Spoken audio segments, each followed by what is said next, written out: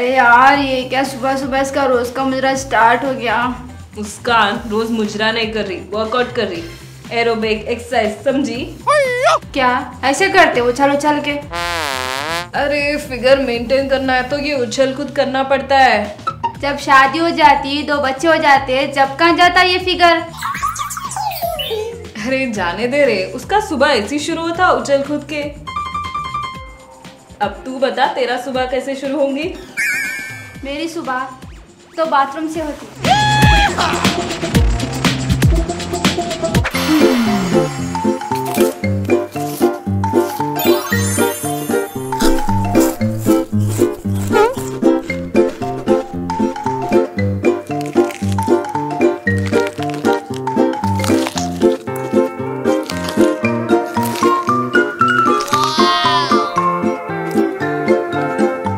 बस कर रूबी कितना मेकअप करती? इतना मेकअप करता आईना भी टूट जाता। चल मुस्कान मेरा मेकअप हो गया ऑफ़िस के लिए निकलते। ये क्या? तेरा नाश्ता अब तक खत्म नहीं हुआ? बस थोड़ा है खत्म हो जाता। ये सब जाता का पेट है या कोट है? देख रूबी हम कमाते किस लिए? खाने के लिए। खाते किस लिए? जीने के लिए। जब जीना है तो खाओ, दबा के खाओ। चल, तेरे खाने के चक्कर में ऑफ़िस के लिए देर हो रहा। और देखते से बात कर करके मेरा लिपस्टिक भी निकल गया।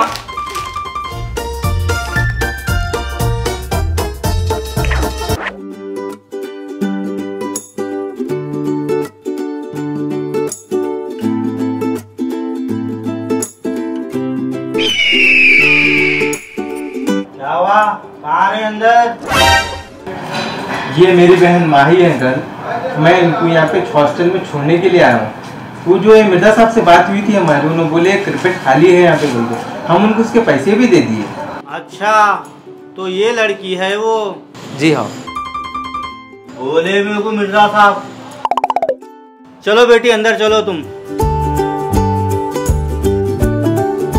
अरे मियाँ तुम कहाँ जा रहे? यहाँ मर्दों का आना अलाउड नहीं है। आप भी तो मर्द हैं ना अंकल? मैं कहाँ का मर्द हूँ? मैं तो यहाँ का वॉचमैन हूँ। अरे हाँ सही बोले आप। तो निकलो यहाँ से। अच्छा लो बेटी बैग लो। और सुनो अच्छे से रहना यहाँ सुकून से कोई टेंशन मत लो हाँ? अपनी पढ़ाई के ऊपर पूरा ध्यान देना हाँ? ठीक है? चलता हूँ बेटा अल्लाह हाफिज़।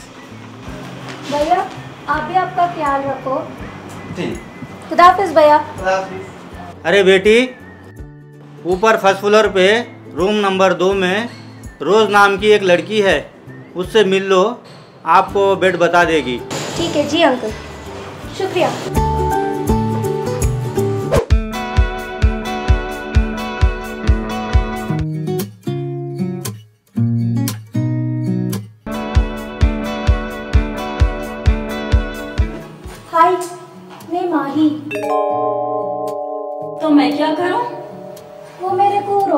बताइए ना। अच्छा तो तुम आने वाली हो। जी, आपका नाम रोज है?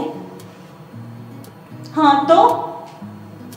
मुझे वॉचमैन अंकल ने बताया था कि मेरा रूम में आप ही है और आपसे मिलने के लिए बोला। तुम्हारा रूम वो मेरा रूम है और मैंने मिर्ज़ा साहब को बताया था कि मेरे रूम में किसी को ना भेजे। फिर भी उन्होंने तुम्हें भेज दिया? रुको, मैं अभी उन्हें कॉल करती हूँ।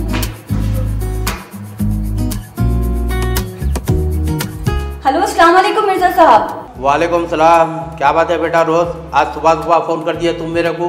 मिर्ज़ा साहब मैंने आपको बहुत बार बताया कि मेरे रूम में आप किसी को ना भेजे। मैं अकेली रहना पसंद करती हूँ। और आपने किस गवार लड़की को भेज दिया मेरे रूम में? और वैसे भी रूम का सारा रेंट तो मैं पे करती हूँ ना? जानता हूँ मैं रोज। तुम अकेली उस रूम का किराया दे सकती हो क्योंकि तुम एक अमीर बाप की बेटी हो मगर वो हॉस्टल मैं दूर दराज से आके रहने वालों के लिए बनाया हूँ ताकि वो सुकून से रह सके और अपना काम कर सके पढ़ाई कर सके।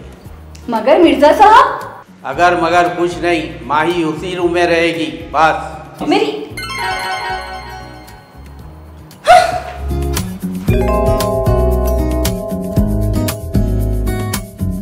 तुम नहीं आई हो? जी हाँ।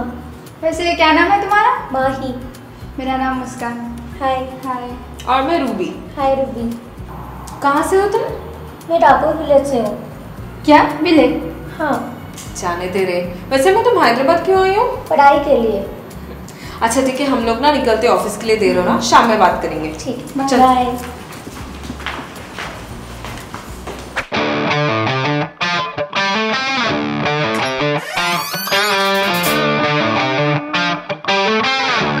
अमीन पोटिया रे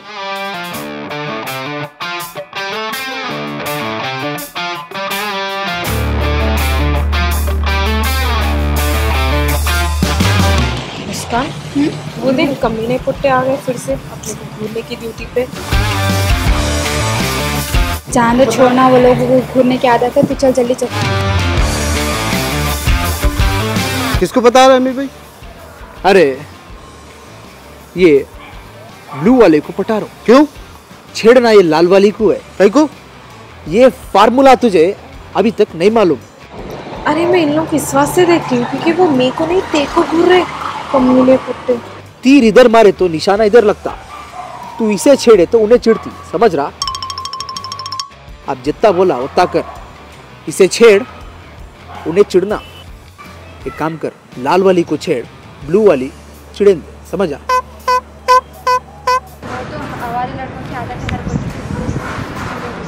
सुन, जितना बोला, वैसा कर।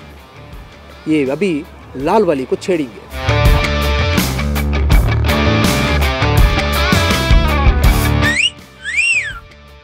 माशाल्लाह क्या दिख रहे हैं? को छेड़ता रे कहीं को छेड़ता पोटियाँ को। पहले पूछ तुझे थूकी उन्हें